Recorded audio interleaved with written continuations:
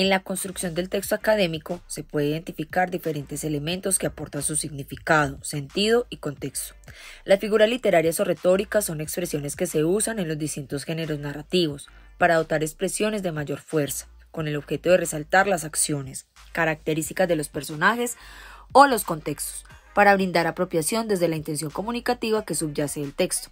En la perspectiva de la escritura académica, las figuras retóricas aportan al texto denotación y connotación frente a la intencionalidad del autor para expresar la relación existente entre el conocimiento y su divulgación. Para diferenciar las figuras retóricas en las formas del discurso, se hace necesario reconocer las particularidades del discurso académico y literario como resultado de la interacción y profundización de los discursos lingüísticos.